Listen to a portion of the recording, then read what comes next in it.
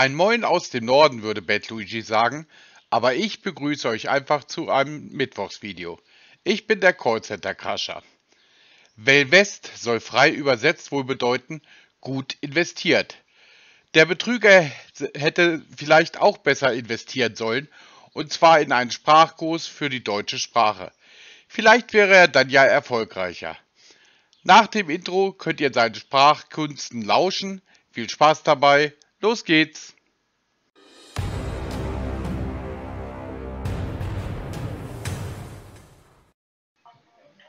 Hallo, guten Tag.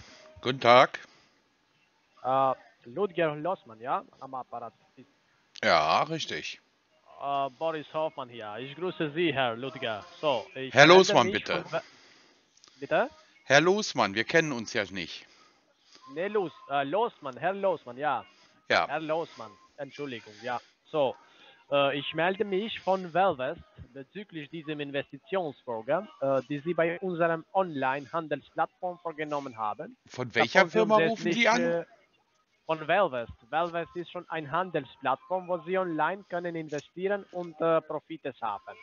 Also, ich bin hier weiter mit den Schritten zu helfen, damit Sie Ihrem Konto aktiv machen und Profite gewinnen.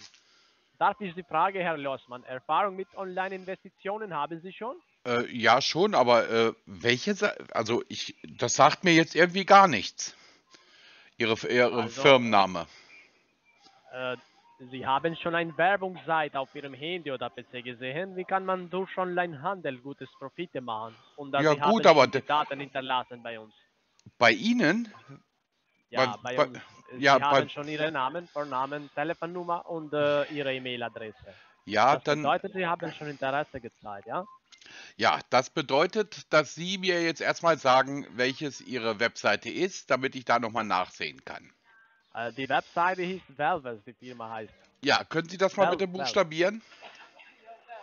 Äh, W wie Wolfgang, Ja, E wie Emil, ja, L wie Lust, ja, nochmal L wie Lust, ja, äh, W wie Vic, Violett oder äh, Volumen was?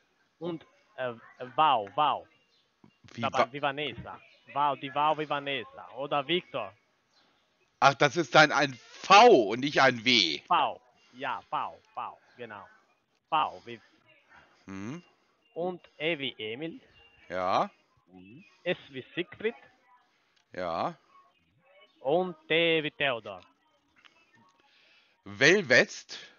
Ja, genau. Wellbest. Und die, wie, wie lautet dann äh, die Webseite? Da hat es ja noch eine Endung. Wellwest.de oder Ja. Wellwest.pro. Pro? Wellwest. Wellwest.pro. Bei dieser Seite, Sie haben eine Meldung gemacht. Ja, ich, ich gucke mal, ich gucke mal, Augenblick. So. Wellwest.pro. Wellwest.pro, ja. Nee, sagt mir so gar nichts. Wann soll ich diese Anmeldung gemacht haben? So, die Anmeldung, Sie haben vor ein paar Tagen gemacht. Sie haben, Ja, haben nicht Ja, heute wann, gemacht. wann, wann denn genau so bitte? Wann genau bitte? Bitte? Wann genau bitte? Äh, von einer Woche, von einer Woche. Ich schau mal, ich hab so, ich schau mal, ob ich mich da irgendwie, Ja, schauen Sie mal. ja, ich, Die ich, Anmeldung, Sie haben, ich, ich, ich, dok Woche. ich Ja, dokumentiere ja alles mit, wo ich mich anmelde. So, dann suchen wir da Ja. mal. Vor einer, Suchen Sie dann mal. nee, nee, habe ich, Weil- habe ich nicht. So, Bei Wellwest.pro habe ich mich nicht angemeldet. Äh, schauen Sie bei Ihrer E-Mail-Adresse oder bei alles äh, die neuen Nachrichten. Und da Sie. Ja, gucken aber ich sehe doch, dass ich mich da nicht angemeldet habe. Woher haben Sie da meine Nummer bekommen? Also, ich muss mit dir zu klar sein. Ich, ich Bitte habe was? Ihnen gesagt, ich muss mit dir zu klar Nicht, sein. mi, nicht mit dir, wir, wir duzen uns Mit ja nicht. Ihnen. Ich kenne, ja, genau. mit Ihnen zu klar sein, weil Sie haben äh, eine Werbungsseite auf Ihrem PC oder Handy. Das ist eine Werbungsseite und das ist eine automatische Daten, wo Sie angemeldet haben. Ja, aber nicht, aber nicht bei Ihrer Firma. Wel- Bei welcher Firma dann? Wie kann das sein, dass Ihre Daten sind Ja, auf unseren Plattformen? Ja, ich habe gesagt, ich habe mich nicht bei Ihrer Firma angemeldet. Eine Werbung, das kann durchaus sein. Aber nicht bei Ihrer Firma. Und Sie Wenn Sie sagt, nicht ja, und, und hallo, hallo. Wo habe ich Ihre Daten? Hallo, hören Sie Ja, mich? ich- Hören Sie mich? Gut. Also, ich sag's nochmal, ich weiß, Sie verstehen nicht so gut Deutsch. Es kann sein, dass ich mich bei einer Werbung angemeldet habe, aber ich habe mich nicht bei Ihrer Firma äh, Wellwest angemeldet. Haben Sie das jetzt verstanden? Ja, und wo habe ich Ihre Daten gefunden? dann? Das weiß ich nicht. Das weiß ich nicht. Was bietet Ihre Firma denn jetzt an?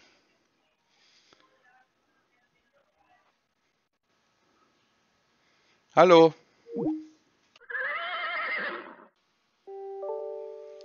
Hallo?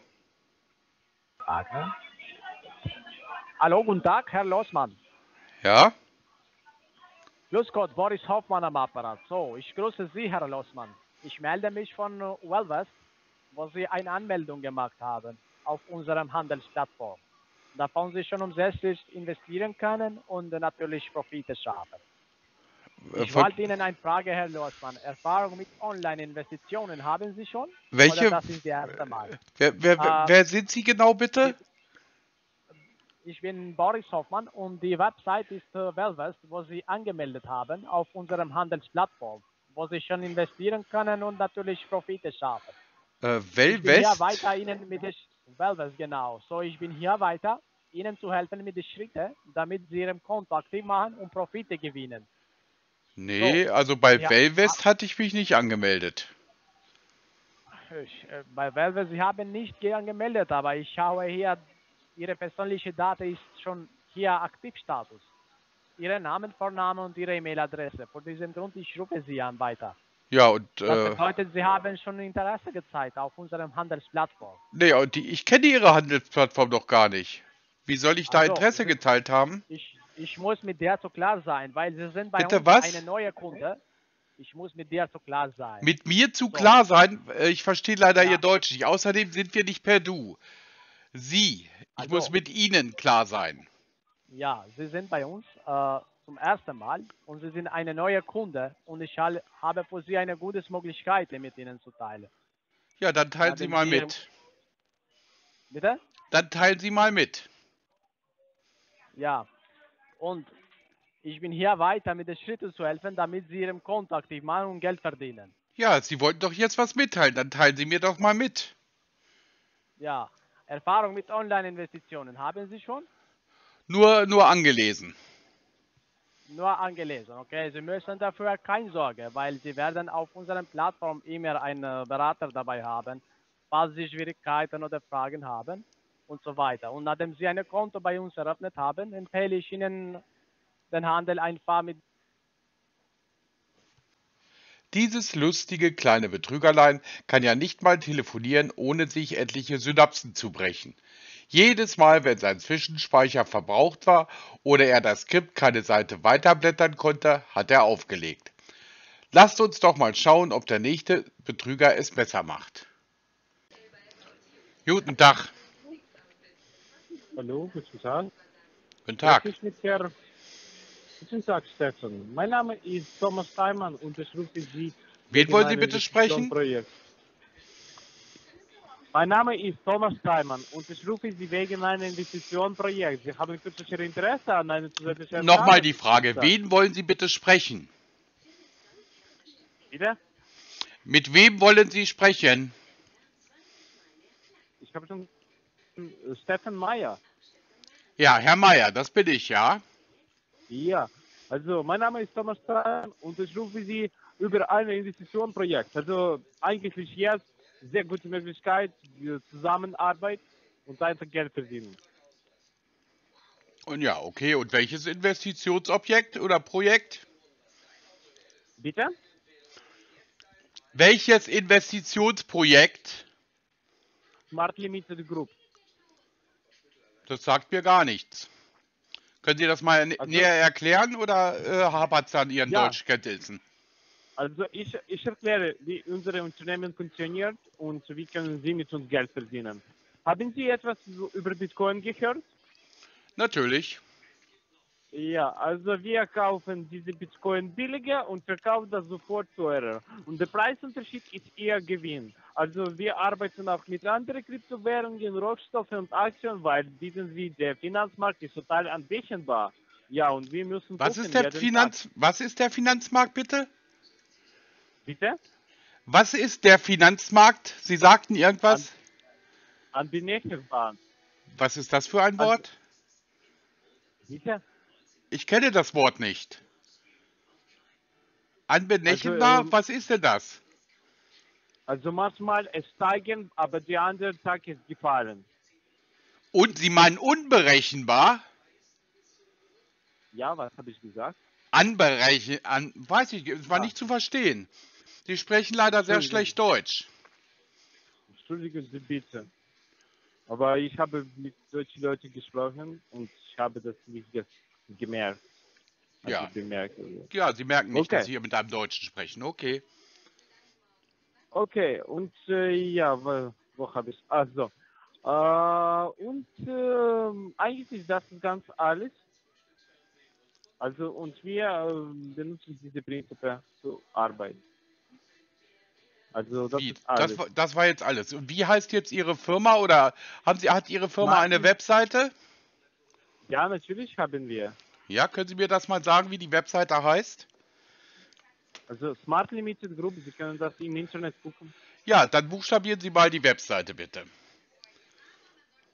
S, Ja, M, ja, A, R, T, ja. L, L, I, M, I, Äh, me? T, Ich kenne keinen Buchstaben. Ich kenne keinen Buchstaben, der me heißt. also M oder M. Ach, M. M, ja. Also M. Limited, Ja, also Ja. M. Weiter. I, Ja, T, ja, E, ja, D, ja. G, G. Was heißt G? also Group, also G oder G. G. Ach, G. Ja, nutzen Sie bitte deutsche Buchstaben.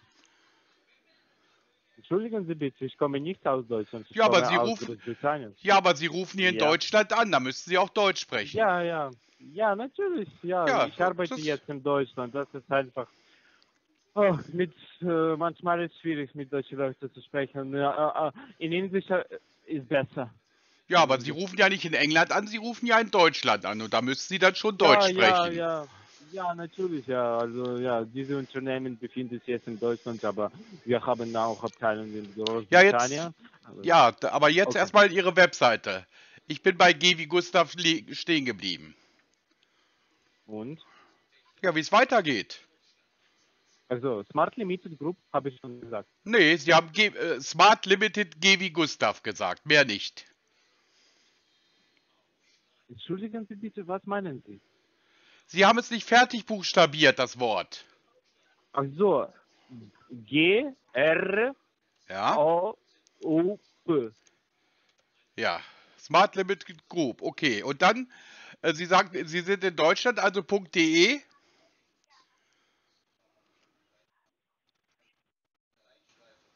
Hallo.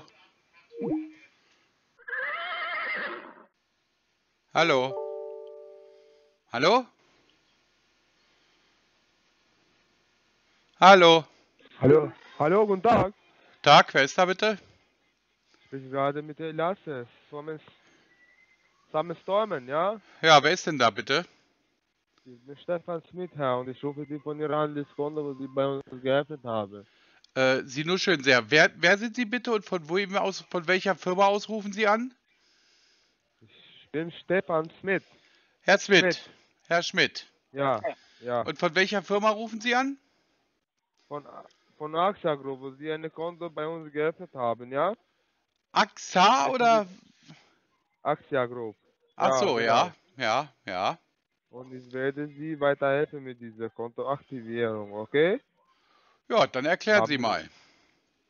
Haben Sie jetzt ein bisschen Zeit? Ich habe ein wenig Zeit, ja. Okay. Und äh, Sie müssen einen Computer dabei haben. Haben Sie schon, oder? Ich habe einen Computer, ja. Haben Sie dabei? Ich ha Was heißt dabei? Ich habe einen Computer, ja. Okay. Und diese äh, Anydesk haben Sie auf Ihre äh, Computer? Anydesk, das ist eine Remote-Applikation, damit Sie es Und schon wieder.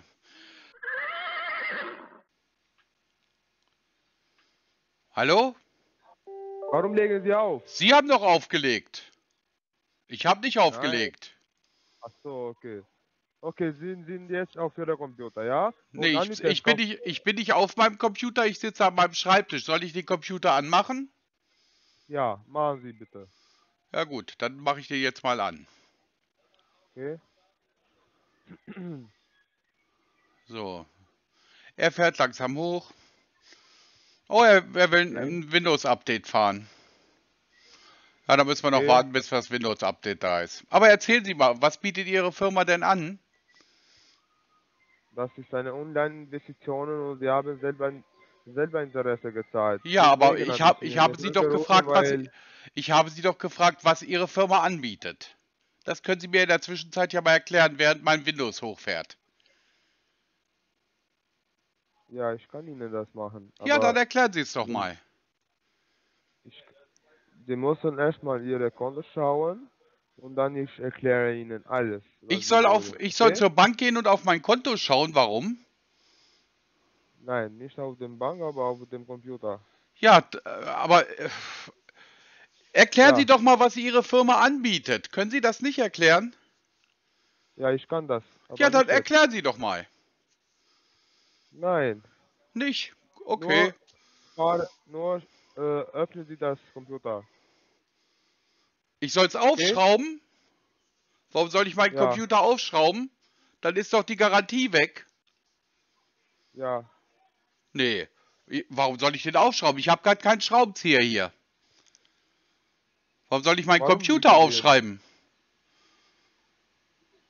warum Warum, warum soll ich meinen Computer aufschrauben? Das habe ich gefragt. Sie, Sie müssen das öffnen.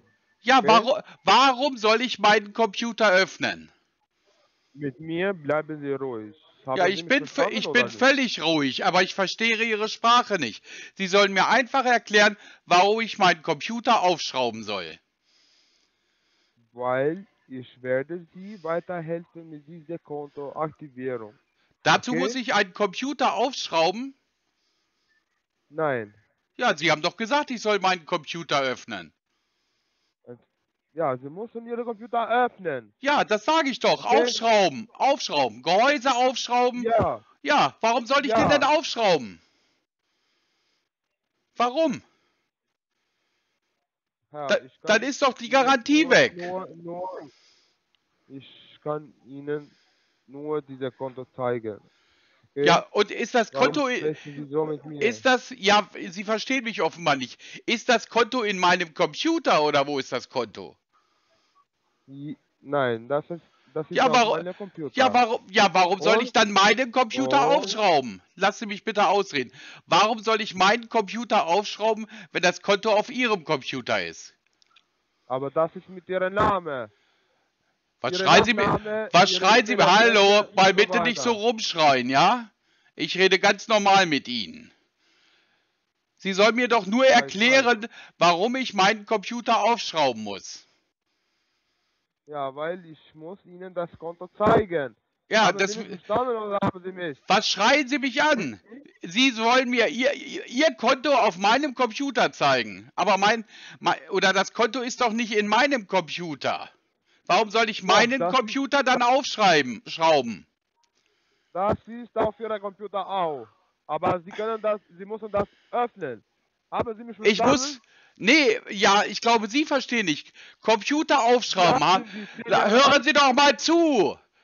Also, Computer aufschrauben, das heißt, den Schraubenzieher äh, schnappen und das Gehäuse des Computers öffnen. Das heißt Computer öffnen. Meinen Sie etwas anders? Soll ich, soll ich den Computer hochfahren oder was? Hallo? Moment bitte, Moment. Moment, Sie soll mich nicht so anschreien.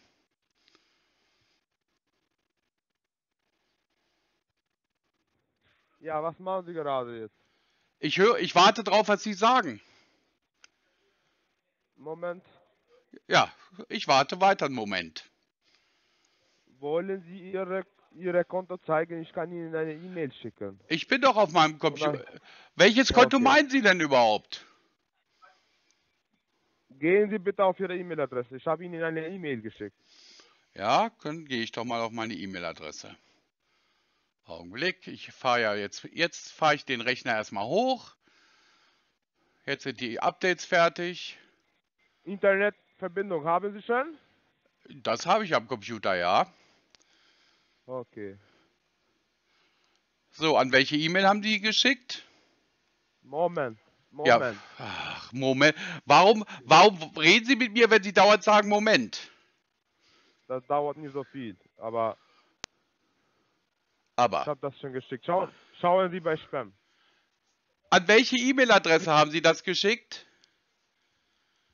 Äh, lasse-sommenstrauem at mailbox.org. Ja? Ja, ja, ist aber keine E-Mail da. Schauen Sie bei Spam bitte. Ja, es ist keine E-Mail da, sagte ich gerade. Schauen Sie bei Spam. und machen Es ist keine. E-Mail da! Bleiben Sie ruhig. Ja, warum schreien Sie mich denn an? So, jetzt ist eine E-Mail da.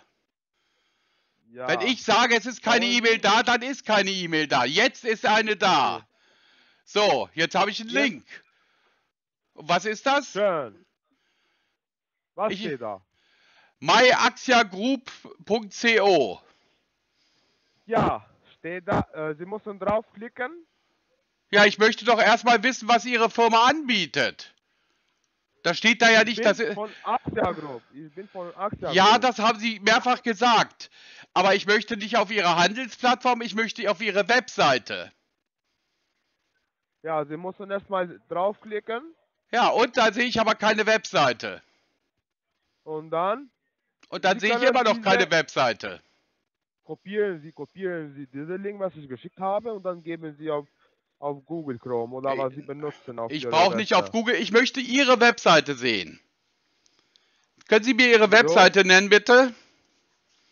Wieso?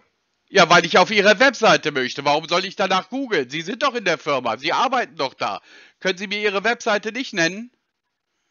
Habe ich, habe ich doch geschickt. Nee, was Sie, mir E-Mail-Adresse? was, Sie, was Sie mir geschickt haben, ist Axia Group, äh, myaxiagroup.co. Das ist keine Webseite, das ist ein Tradingportal. Doch, das ist, das ist so. Nein, Nur das ist nicht so. Und dann schauen Sie. Ja, Okay? was? Ja, ich hab's auch geschaut. Das ist ein Tradingportal. Das ist eine Trading-Webseite, aber keine Webseite. Wie ist Ihre richtige Webseite? Axia. Und weiter? Ich kann Ihnen das. axiagroup.co. Ah, okay, gut, okay, gut, so. Und was bietet Ihre Firma jetzt an? Das habe ich vorhin ja schon mal gefragt, das wollten Sie ja gar nicht beantworten. Oh, Sie sind so dumm. So dumm sind Sie. Ach, so Sie redet man so bei dumm. so redet man bei Ihnen mit Kunden? Wir reden mit viel Kunde. Ja, Okay. aber ich glaube aber nicht erfolgreich, wenn Sie Ihre Kunden dumm nennen. Ich Ja, glaube, Sie sind ich gla Eins von die Kunde. ja, und ich glaube, Sie sind sind dumm. eins von die Dummen. Du bist der Sie sind typisch, eine- der, du bist der Typ, der dumm ist. Sie, Sie sind eine Du kleine Dumm, nicht Ja, Dumm. ja, und aber du bist, Dumm. aber du bist ein großes Dumm, weil du verstehst meine Sprache gar nicht.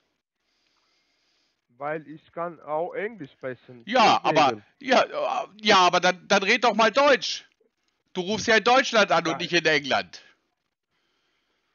Können Sie auch Englisch sprechen? Nein, natürlich nicht, weil ich bin, ich wohne in Deutschland und nicht in England. Ich weiß, wo Sie wohnen. Ja, also, dann rede Deutsch mit mir. Ja, wir haben jetzt 10 Minuten gesprochen. Ja, aber weil du einfach nichts verstehst, deswegen müssen wir so lange warten. Weil du einfach schlecht verstehst. Ich Du- verstehe. Nee, du Natürlich. verstehst kein Deutsch. Doch, doch. Wie, wie war dein Name doch?